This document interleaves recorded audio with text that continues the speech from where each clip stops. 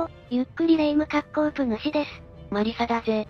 前回は、ひたすら守りながら準主力が徐々に押していく展開だったね。主力もついに目標だった伊賀上の城に到着したんだぜ。主力、準主力ともに地味ではあるけど微妙に進んでいってる感じだよ。それじゃあ状況確認と今回の作戦考えていくよ。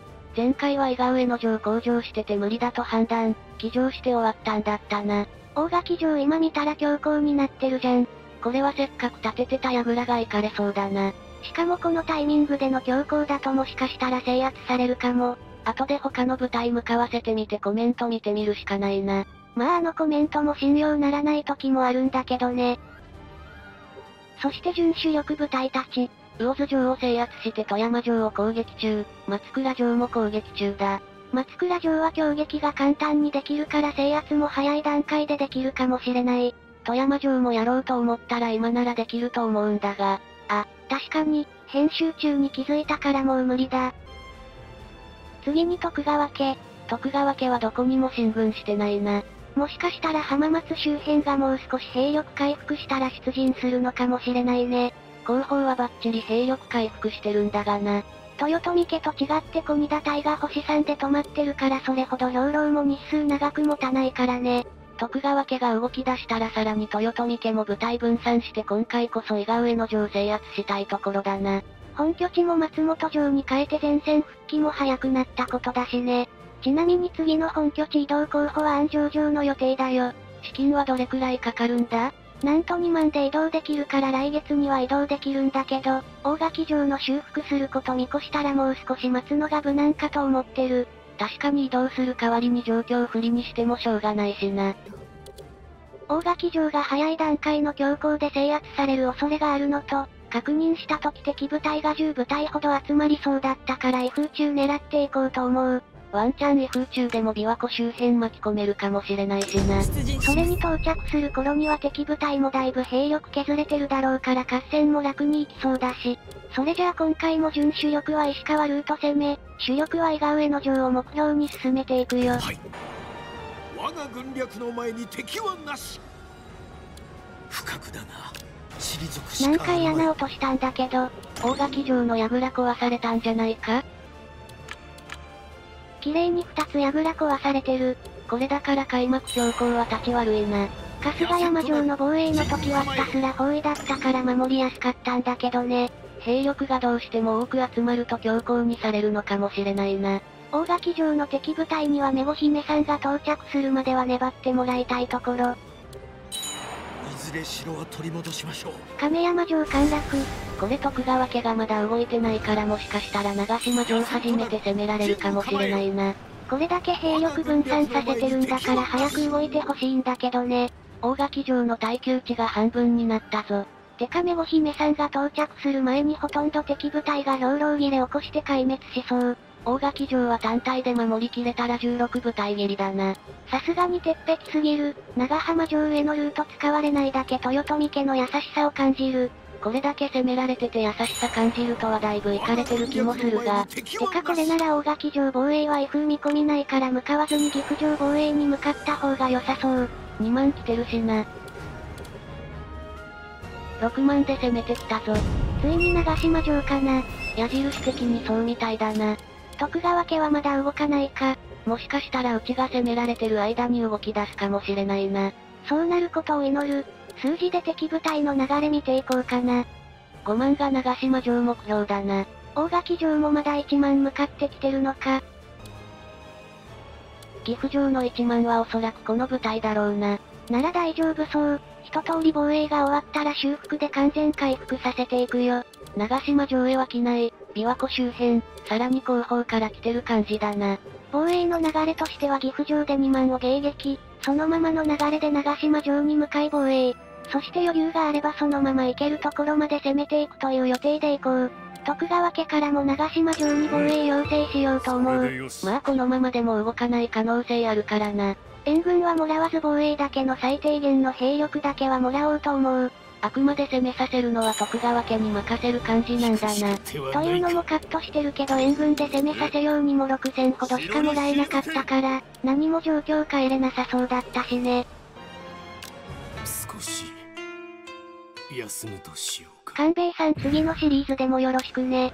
ついに主力の寿命期出したな。だが焦らない。うちの主力が消えていくなら敵も消し去ればなんとかなる説。結局脳筋で草。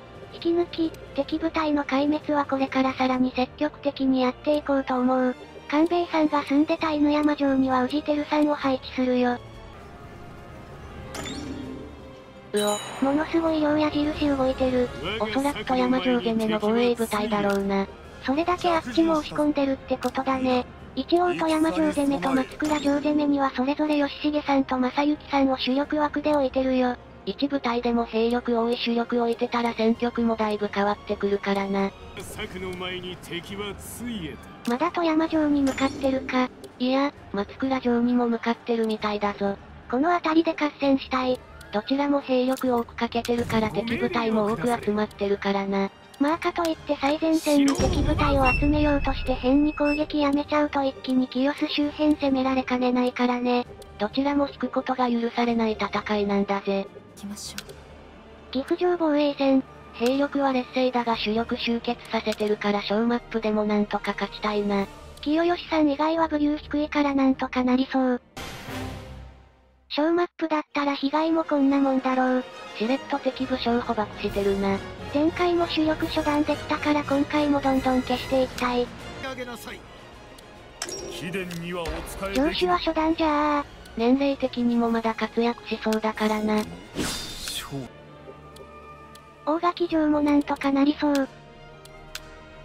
追撃部隊も来てないみたいだしな。岐阜城もそごうさんは確か四国からだったはずだからまだ到着までには時間かかるはず。なら主力率いて長島城防衛、亀山城攻めで良さそうだな。長島城も敵部隊集まってきてるから威風弱なら発動見込めるかも。我が手にてついえたり8万追加だな。長島城と大垣城かな。岐阜城と大垣城だな。大垣城は11万迎撃できた実績あるし、6万くらいなら耐久値回復させれば問題ないだろうね。問題は耐久値回復できる時間があるかどうかだな。大垣城へは兵庫あたりからがメインみたいだから回復する時間はありそうだよ。なら問題ないな。いかに動きましょう。長島城防衛戦。敵主力部隊が参戦してるから壊滅狙いたいところだな。兵力劣勢だけど大マップなら余裕だと思うよ。大マップ最高。また捕獲してるな。前回に続いて今回も大量の予感。生け捕りとしたぞしかも二人捕まえてたのか。これはびっくり。お断りするならば初段。どんどん豊臣家は城主が消えていくな。モブ軍団早く作ってもらわなきゃ。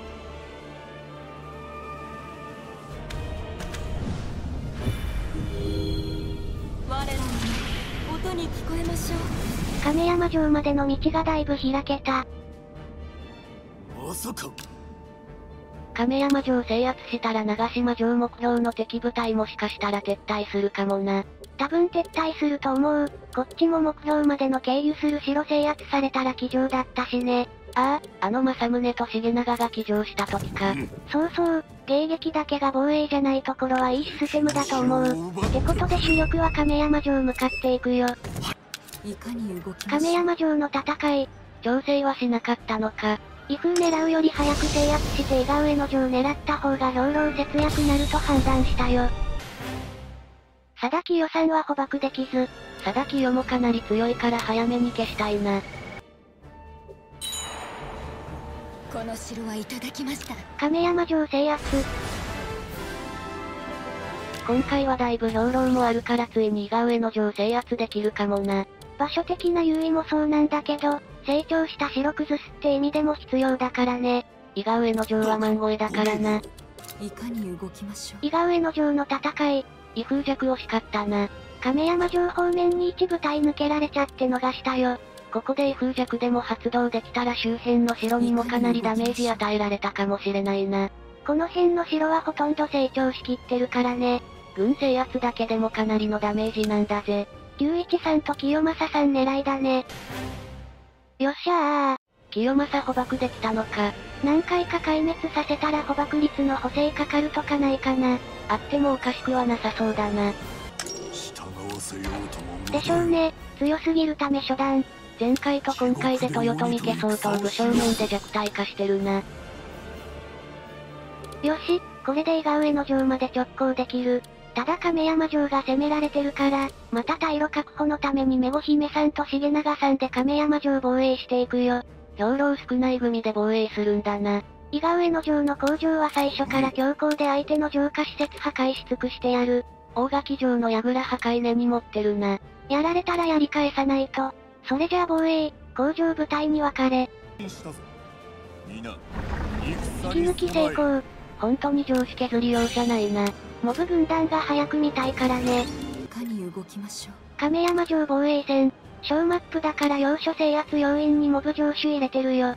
戦闘させなければ問題ないからな。小マップはやっぱり壊滅目指すの難しい。逃げるまでの道のりが短いからな。これでしばらくは亀山城も安泰。工場部隊が帰るまでは大丈夫だろうな。さあ、あとは強撃で一気に伊賀上の城制圧していくよ。少しカット。伊賀上の城の耐久値も3分の1程度になってるんだぜ。ただ敵部隊に時間稼ぎされてる状況だよあ、これ放置しても寿命で昇天しそうだね。なら解放でも良さそうだな。ただ病気してるだけの可能性もあるけど70歳なら寿命の方が濃厚だろう。またこれ敵部隊かわせそうだな。加藤さんの部隊が来るまでに制圧できればなんとか。ただ上手部隊も出てくると思うから結構きつそうな気もするがな。まあ行けるところまではやっていくよ。腕が鳴るわいこのままでもかわせるか検証。素通りするのもどうかと思うがな。これで制圧されたら戦犯すぎる。包囲から強行に変えて攻めていく。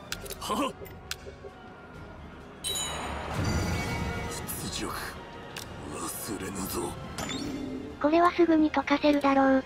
だが溶かせたとしてもその後がすぐに来てるから工場はここまでだな。しかももうそろそろ岐阜城攻めの部隊到着してもおかしくなさそうだしね。